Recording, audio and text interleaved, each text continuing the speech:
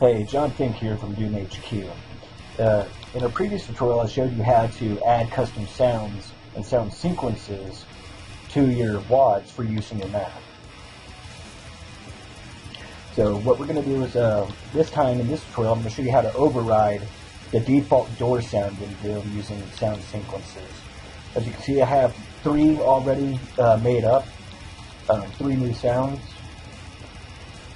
And uh, what we're going to do is we're going to use we're going to use uh, sound sequence uh, objects to uh, get the sound sequence out. Basically, you'll select the sequence number that you know is going to refer to the sound sequence you want to use. And then all you really have to do is place that sound object inside the sector of the door. And anytime after that point, it'll use that sequence instead of the actual door sound. So I'm going to go ahead and add all three here.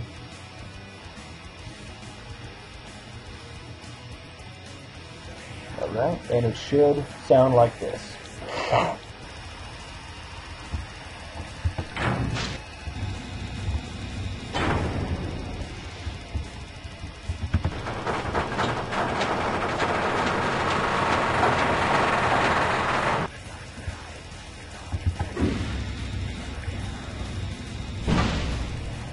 There you go, simple as that.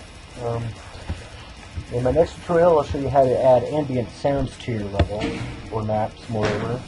Um, if you have any questions, requests, or anything like that, uh, send them into the comments section below, or send me a private message and I'll get back to you. Uh, until next time.